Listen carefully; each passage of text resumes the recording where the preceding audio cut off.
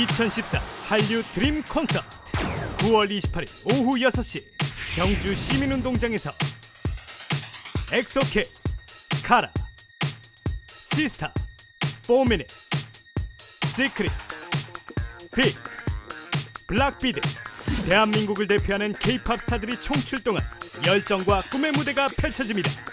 자세한 사항 한류 드림 콘서트 홈페이지를 참조하세요. 이 행사는 경상북도 경주시 한국연예제작자협회가 주최하고 경주문화재단이 주관하며 롯데 JTB가 후원합니다.